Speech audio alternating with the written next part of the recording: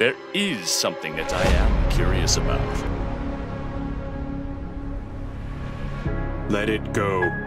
It is not a sin to fight for the right cause.